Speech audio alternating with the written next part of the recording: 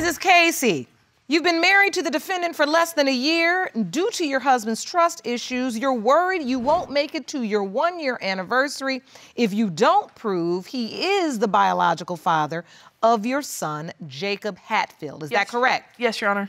Mr. Hatfield, you say sleeping with the babysitter landed you in a marriage with someone you don't trust. Is that correct? Yes, Your Honor. Mr. Hatfield, did you have a good relationship before the marriage? Yeah. Did you have trust issues then?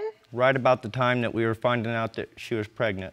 That's supposed to be a happy time. What happened? She hadn't told me she'd quit taking her birth control or anything yet. We were talking about planning for the future Okay. and a possible children in the future, not immediately at that moment. So you have trust issues. Yes. But at one time, this relationship was a happy one. Yes. Yes, Your Honor. Mrs. Casey, take me back to that time. I had started babysitting for his family. I saw him, you know, thinking he was a cute guy. And we started chit chatting, and he had said they had told me the rules. It was, you know, no running in and out of the house because it was hot that day, the air conditioner was on. Make sure the kids don't go in and out of the house, and no sleeping with the babysitter on duty. Really? I thought it was love at first sight. and so you instantly fell for him. Yes. I've been the side lady, and now I'm the main one. We're married, and I want this to be a happily ever after with my little family. And so, Mr. Hatfield, you slept with the babysitter. Broke the rules. But it was after hours. It wasn't during the time of being babysitting or anything like that. It wasn't. No. And me and Andrew proceeded to talk from that moment on. So you started dating.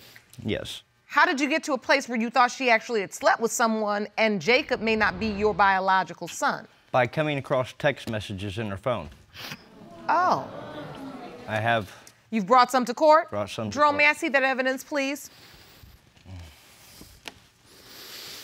Thank you. You're welcome. They would be two Miss Casey from somebody she was with prior to me. And so these text messages read Are you up? What are you doing? I just got off. Can I come by? They're all questions with no responses. At the time, she's your wife, Before. and right before she got pregnant. This was right after she was pregnant. Okay, what it signaled to you was if this was going on right after she got pregnant, was it going on right before? Exactly. Miss Casey, you remember these text messages? You recognize them? Sort of, kind of, yes. So who could it be, sorta, kinda? This guy had messaged me, asked me to be his mistress whenever he got married. I had told him flat out no. When did that start? It had happened after we had gotten pregnant. He was messaging me, asking me to hook up. I kept telling him no. I kept telling Mr. Hatfield about these messages. Was she honest, Mr. Hatfield, about the fact that this ex was reaching out asking her to be his mistress? After it was brought up to me, yes, she was honest, but I still felt like there was missing side of the conversation. And this was a guy she was intimate with in the past, am I correct? Yes, yes. When he sent these text messages, mm-hmm. you did not respond. correct. And so, Mr. Hatfield, do you believe she did not respond? No. I was currently staying at her parents' house, and I was sitting in the garage with one of her family members when the guy in question had come in the back door and knocked on our bedroom door. He was looking for the family member. I felt like he was looking for Miss Casey because the supposed person he was looking for was sitting in the garage with me. Oh. When the door come open and he realized I was sitting in the garage is when he spun around, grabbed the supposed person he was looking for and his current girlfriend and turned around and left. He also had made an appearance later on that evening when he had brought them back knocking on the door while me and her were lying down in bed at about 12:30, 1 o'clock in the morning. What? So that tells me that there's something more than just these mysterious text messages. Miss Casey, who in their right mind knocks on somebody's door at 12:31 in the morning? Period. Much less a woman they used to sleep with, unless they're interested in sleeping with her again and looking for her. He was looking to take my family member's girlfriend at the time home. Not at 12:31 o'clock in the morning when he come by, it was your name he was saying. I didn't hear that. Wait a minute. I was asleep. You said when he was knocking on the door, he was saying Miss Casey's name? Yes. But you're not pulling the part to where you cheated and you had other girls messaging you while I was still in bed with you. We were sleeping. Right. We were supposed to be Uh, sleeping, and you were right. sending I nude haven't, pictures to I haven't girl. said any of that because all this doubt that's here Yeah, that's so caused I a was problem in doubted our before we relationship had we even is the whole conceived reason Jacob. We were that still in I even Kilmarnock went whenever stepped out you were then. still sending naked pictures to other females, and females were sending the same pictures to you. Now we get into the meat of this, okay? Because I couldn't understand how a perfectly happy couple, it was love at first sight, don't sleep with the babysitter, but I did, but it worked out, and we so happy, and then all of a sudden, change the channel, and we got trust issues out the wazoo. So let's be honest, and that's why we're here. Mrs. Casey, did you have revenge sex with this man to get back at him because you thought he was having sex with his ex? No. I've never once cheated on him in the three years. So If- why is it when we saw those text messages, we don't see a text that comes after that that goes, "Stop texting me, I'm married." Because he had blocked me on Facebook. I had blocked him, he blocked me. How are you gonna block somebody and you're waiting for them to respond to see if you can come over and have sex with them? That doesn't even make good sense. Because his girlfriend had found the messages. so she was looking at him, and then at that point he realized it and blocked it. Yes.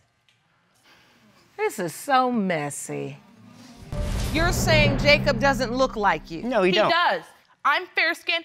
It doesn't have to be the dad's. He doesn't have I- to be like if you would I look have What no- color you- hair does this other guy have since you say Brown it doesn't hair. look like you? When he was younger, it was sandy strawberry blonde. Now it's a little bit more brown during more time he spends in the sun.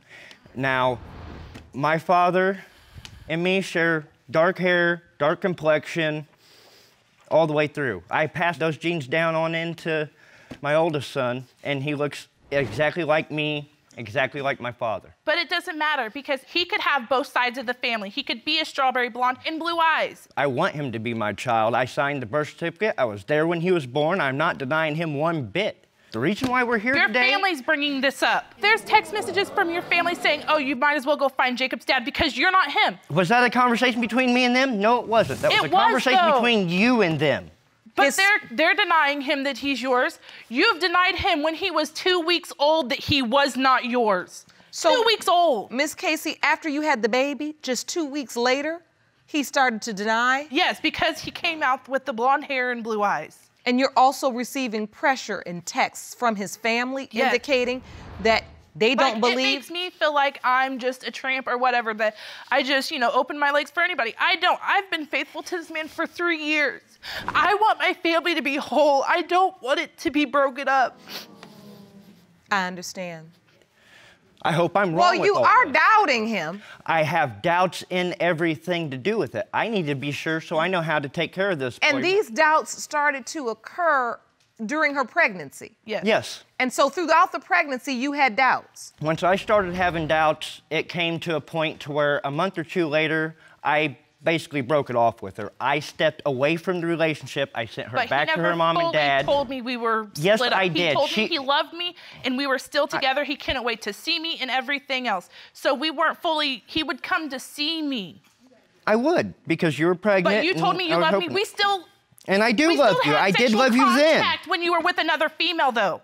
Just because I was staying there don't mean I was sleeping with her at the time. That was a place to stay. But she said that you guys were, and you were still sleeping in the same bed with her. and again, so This is so during did- the so did guy marriage? that- so No, the guy, this was during whenever I was first pregnant. So did the guy that these text messages and everything else were from. He said he was No, sleeping I with you told during you the that time. millions of times. I've never once cheated. I've been faithful to you for three years. Mr. Hatfield, you said there's also medical reasons why you believe you are not Jacob's biological father. Jacob has one kidney. He's had to have surgery. He has to see a urologist every six months to once a year now. I've been there every step of the way from birth to now with the boy. And do I can see that can makes you for him. emotional when you talk And about him. I, I just want to be able to take care of him the best as possible and get everything between me and her better because to take care of him and his brother the best that we can, we cannot have this back and forth. It's bad for the kids. It teaches them bad habits. It gets them yelling and screaming at people, and then they feel the tension and they don't want to mind or listen. We got to get this under wraps now before it gets any further out of control, or we're going to have to step back from each other. I just want to know what we need to know for Jacob. and I know it hurts you. I can see that. You bring this baby, you help bring this child into the world. You say you've been with them every step of the way. Every step of the way. I missed one sonogram. During the time of all this, the, the doubt and everything taking place, I was getting up at 4.35 o'clock in the morning. I'd be at work by 6 after an hour drive. I'd work 10 to 15 hours a day and then come back home, and then this is what I get. And, and you believe, Mr. Hatfield, that this is further proof that you are not Jacob's biological father. Explain to the court why you believe that. Mm-hmm. I don't know anybody in my immediate family, let alone in my family tree, that has any of the same issues. But it doesn't matter. It doesn't matter if it's hereditary. The doctor said it can't be hereditary.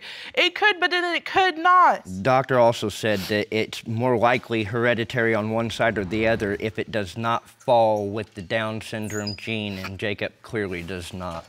We have an expert here because I am very interested in hearing more about birth defects or this particular issue of being born with one kidney and how that potentially relates to paternity. So the court would like to call Dr. Tasha Rogers to the courtroom. Jerome, will you please escort her in? Sure.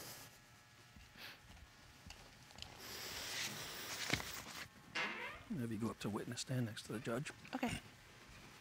Watch your step going up. Okay. Hi, doctor. How are you? Thank you so much for joining us today. We are here discussing paternity of a beautiful little 12 month old boy, Jacob. He was born with a medical issue, having one kidney. Okay. And our potential dad, uh, Mr. Hatfield, he's confused as to whether or not this is hereditary. First thing I want to ask you is what's the difference between birth defects and genetic defects? Okay. A birth defect is a random error of uh, conception that has no genetic basis at all. A genetic defect is when the chromosomes of mom and dad come together and something happens. Understood. And so, if a child is born with one kidney, could this defect be considered hereditary? And if, if yes, what's the likelihood that it's inherited? Okay. Um, when we talk about um, having one kidney or uh, renal agenesis, it is what we call multifactorial, meaning it is multiple reasons, and we're not exactly sure why. Um, it can be environmental. Um, is mom on a medication? Has she been exposed to some toxins? Um, lifestyle, obesity, drug use, alcohol use, or very rarely, is it genetic? And that's if there's a mutation. So even if it is genetic, dad could simply be, or mom could simply be a carrier, meaning they could have both kidneys, but just carry the gene. And here, I believe Mr. Hatfield testified that Jacob does not have any such mutation. Is that correct? Correct. And so, given that fact, how does this relate to the possibility that this could affect his doubt concerning his paternity?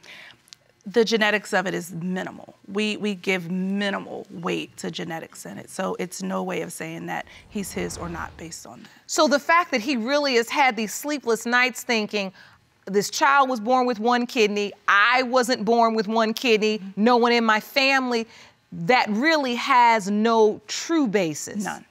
And yet, if somehow they miss this mutation, then it could possibly be a genetic issue? It could be, yes. All right. So the question is will this marriage survive? I hope. If he is not your biological child? There's going to be a serious step back in the marriage. Because this foundation is feeling very faulty right now. It, that's the way it's felt to me for a long time. I mean, even the energy between the two of you standing before me, you would have to tell me you married. No, I would not know. The stakes are very high today. Yes, they are. But I'm very thankful that we have answers for you. Jerome, I'm ready for the results. There you go. These results were prepared by DNA Diagnostics, and they read as follows. In the case of Casey versus Hatfield, when it comes to one year old Jacob Hatfield, it has been determined by this court Mr. Hatfield, you are the father.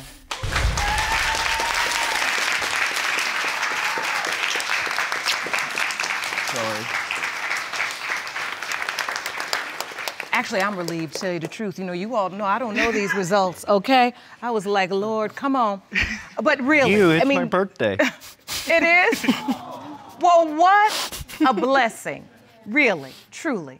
What a blessing. And I can see it meant something to you. I could almost feel your breath stop as I was reading the results. And then when I read it, I could hear that sigh of relief. And it's a beautiful thing to get the truth. And I'm happy for you both. Because at the end of the day, the genesis of this was something beautiful. And then we let trust issues affect the foundation of this family. And ultimately, it affected the way in which we view this beautiful, innocent child. And I can see that affects you because you knew it was affecting it. Mm-hmm. All right. Based upon the papers submitted to the court, I can say I have never seen a case like this. Mr. Nicholas, you have brought your wife to court today. Yes, ma'am. You claim you cannot be the father of four year old Naomi or one year old Nathaniel because your wife is a habitual cheater and she cannot be trusted. You say you have shocking evidence of your wife's outrageous sexual infidelity, including encounters with strangers in public places and affairs with your coworkers. Mrs. Nicholas, you actually admit that you've made some mistakes in your marriage, but you claim you have now turned your life around and you are a church going woman who deserves another chance. You state that once these DNA tests prove Mr. Nicholas is the father of all of your children, you are hoping to repair your marriage. Mr. Nicholas, Yes, ma'am. feel free to right. enlighten the court. Let me tell you this first of all. You know, the sushi spot I used to work at, right, is a hot silk. People come in in and out. Right? Some guy comes up to me and tells me straight up to my face that my wife is performing oral sex in the bathroom. Oh, wait, a minute. Wait. Yeah. Wait a minute. You're at work Yeah. at the sushi restaurant. Yes, ma'am.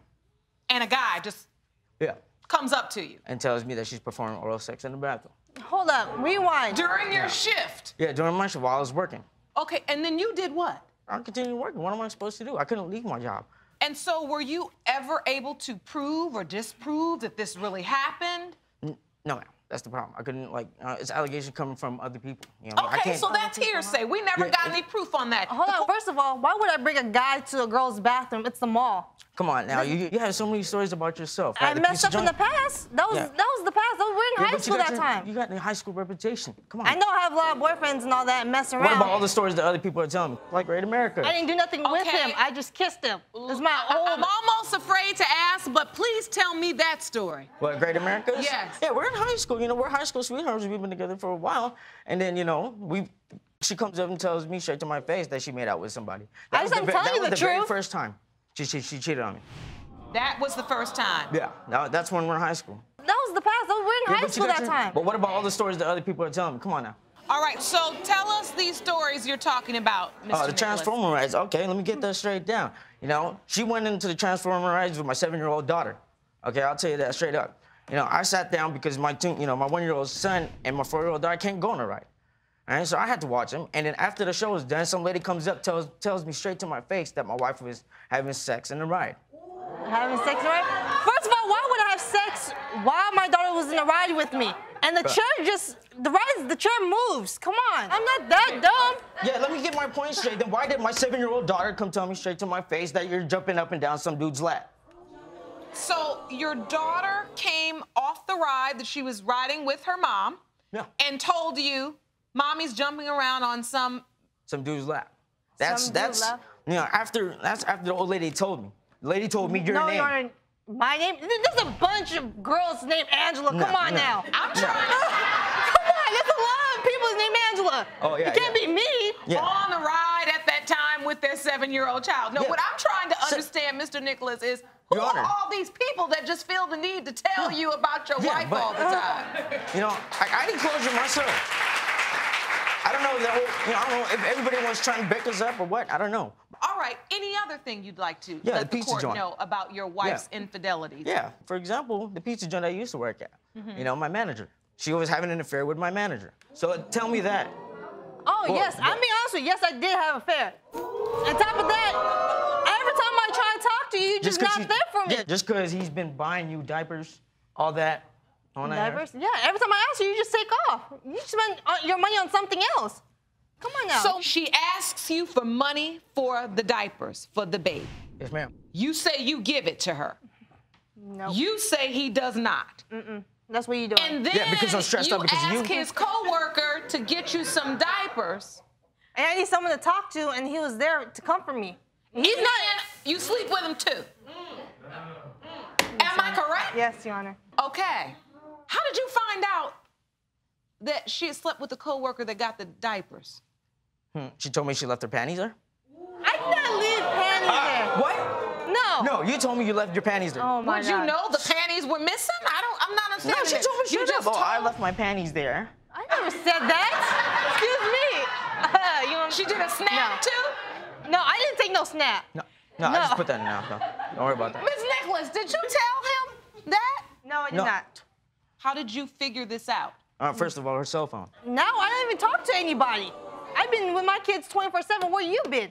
I know you work. I know you work, but the Working. time when you're not working. Time not working? Yeah, I'm with my cousin. Your Happy? are you sure your cousin or the other chick? All right. Do you have an answer to that, Mr. Nicholas?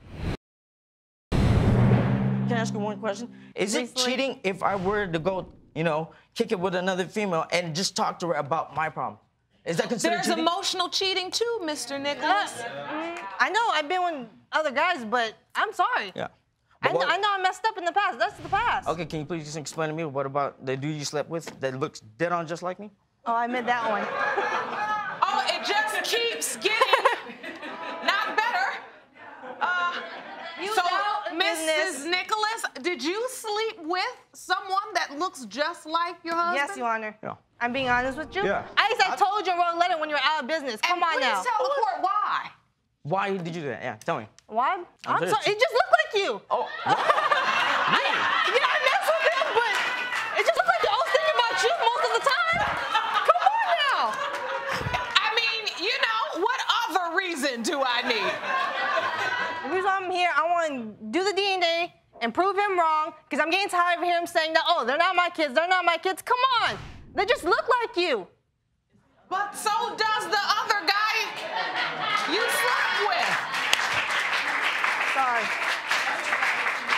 Do you understand why he potentially, maybe, could have some doubt? Do you understand? Yeah, because I cheated on him, but Hey, all but the time when hey, I was the kids cheating, don't look like me though. They look like me, that's why. Come on now. No, there's gotta be a part of it where the kids gotta look like me. Yeah, They, they, they, are, they do now. What I want to know is how did it come to this in this marriage? Ms. Nicholas, explain to me. Why are you going outside of your marriage, uh, trying to find someone that looks like your husband to have sex with? Because I'm What is tired of he, him Yeah. treat, like he treats me like at Yeah. at home. Let's use better oh, language Oh, in sorry. the court. He called me names. I know I messed Yeah, I up. called, yeah, I called you names because you deserve it. No, I've been with other guys, but I'm sorry. Yeah. But Mr. Nicholas, didn't you say in high school she had a bad reputation and yet you still married her? Yeah, because yeah, you know why? It's not. I married her because, you know, yeah, I was a nerd. I'll tell you that. I was fat, little chubby, little kid. You know what I mean? I was probably the rebound. You're not the rebound. Miss Nicholas, I gotta ask you, how many affairs have you had?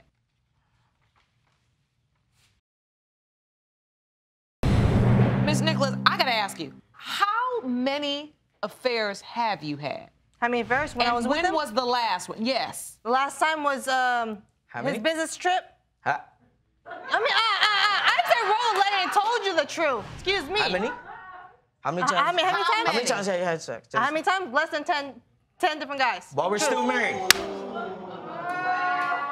While we're still married. But I That's- some yeah. of them, I don't sleep with them. Yeah, I kissed them. It- Yeah. Is, is that cheating? Kissing is cheating? Read, Oh, it is? Oh, okay. read the Bible. Yes, let me make that ruling right now. Yes, it Is it- is. Um, You know, is it cheating? Ms. I don't He, agree. he's, Your Honor, he's been at this girl's house for two, three nights, and I'm Yeah. trying calling him, I'll and he you. never picks up. you staying at an, another woman's house? Pretty much, yeah. Uh, see? You all obviously never heard the phrase two wrongs don't make a right, Yeah, have that's you? you know that's Whoa! two wrongs don't make a right. I know that, but the thing is, I gotta hear from another woman's perspective. What am I supposed to do? I can't just go talk to another guy because if I were to talk to another guy, he's gonna be like, "Oh, slick Rick," and come in and try to take my woman. you know what I mean? Take your- he's, he's gonna be like, "Okay, that's your problems." All right. Mr. Nicholas, you know as a man you've gotten some things wrong. Yeah, of course. Yeah, If I'm- you I'm- apologize, we won't, And we won't fight every single day like we at home. Just drop everything and start new. How am I like gonna- a normal how- couple. Yeah, dude. After after all the stuff You you, did both to me, I have can't. tears in your eyes right now. I can't sleep. I haven't slept for days just because I'm stressing about you. Sleep me in. No wonder you just keep on waking me up every time. I'm always with you 24 7. What? Okay, listen, Your Honor. He's accusing me that I'm cheating with another person, sneaking around at night, and half the time he's been awake and I'm always with him. Sounds That's like why- to me that both of you are accusing the other one of doing a lot of things, Yeah. but the problem is, is that both But, of Your you Honor- are doing the No, other Your- Your- things. Your Honor. But at the end Can I- of the can- day, I'm looking at Mr. Nicholas right now, and I see a man that's standing here emotional still over his wife. So I see love. Despite all of this dysfunction, I see love. And what the court is trying to understand is we've got children here now that I'm sure love the both of you. And I'm trying to get down to the bottom of not just whether or not Mr. Nicholas is their father, but why you two can't seem to love each other appropriately when you obviously do love each other. Yeah, I do love Yeah, him. I do love him. I just want everything to work out. All right? I want to be a happy family with white picket fence in front of our house. That's all I want. I just. I'm tired of being hurt. All right, I'm, I'm, sorry tired. too. I'm sorry. That was the past. that's- Can you just let go of the past and start new for once? Like, Nah, I'm sorry. It's gonna be done. it's gonna be done? It's done. I'm tired of being hurt. Miss Nicholas, what would you like to say to your husband? I love him a lot, but there's time I really do want to get out of the house because he's always just argue, argue, argue. I want to stop the arguing. I'm not the arguing. controlling. I never control you. You never control me? No. I let you go. I let you go out with your mom. No, you don't. That's so lie. Oh no, oh, don't. We have the results here today, but I need some information before we get to the results. These results pertain to two beautiful children. You see them? Aren't they worth more than the tit for tat that you all do all day long? Yeah. Look at them. I believe they are worth the effort. Come on now, tell me he don't look like me. he does look like you. Come on. Yeah, just because we got both ponytails, that doesn't mean anything. What do you want from your marriage and your family? I want him to stop calling me names for once and just be like a normal couple and just be there for the kids, not just say, oh, they're not my kids. I, I'm tired of hearing that. I hear that almost every single day. And he wants you to stop cheating. Can you do that? yeah, I told him I stopped cheating. My No. when my son was born, I said I'm gonna I'm gonna stop everything. I'm gonna tell you the truth from now on. That day, I've been telling you the truth every single day. All right, I think it's time for the results. Jerome, do you have the Yes, I do. Here you go. envelope? Thank you.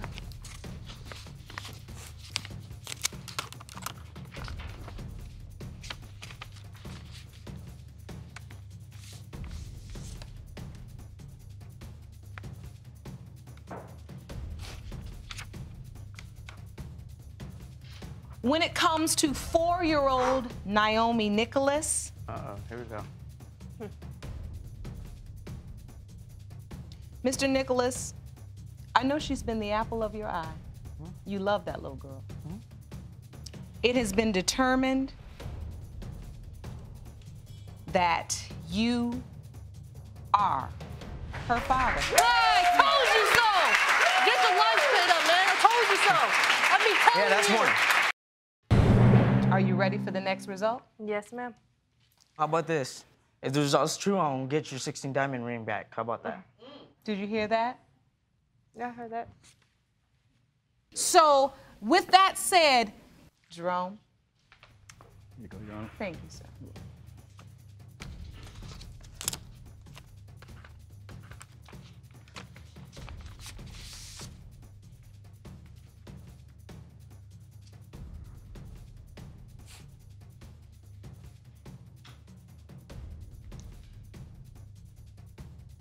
As it relates to one year old Nathaniel Nicholas.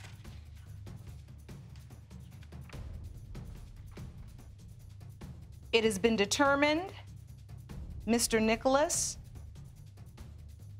that you are his father. Exactly, I told you from the beginning. God, I told you. Ah. How do you feel, Mr. Nicholas? Relieved. Really relieved. I'm super happy. I'm gonna be the respectful father that they need. Good. Miss Nicholas, you're very emotional right now. What do you feel? I'm I'm relieved. I've been telling him this is his kids, but every single day he said, "Oh, those are my kids. They don't look like me. Come on I, now." apolo- I apologize. Okay, I'm sorry. Can you accept his apology? Can you understand, honestly, Please, as a woman, why this man would have some doubt?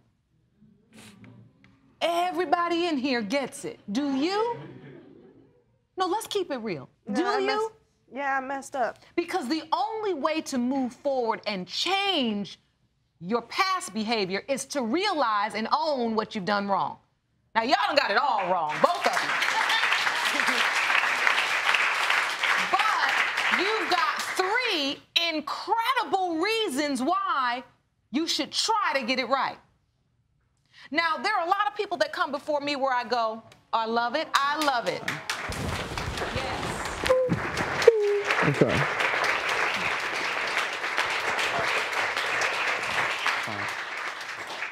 This is what this courtroom is all I gotta look up to her. about. That's all right.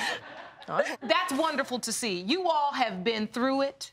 You've done pretty much everything you guys can do to one another, but I still see love. I just want to settle And down. as long as there's love, there's hope. And all it takes is for you both to decide that you want to be the, the kind of people that can love and connect and have a family, and both of you want the same things. Just make it happen. It's a choice. Do it for those children. They are worth it. I want you to raise a beautiful family and live the lives you want to live. Good luck to you both. Court is adjourned.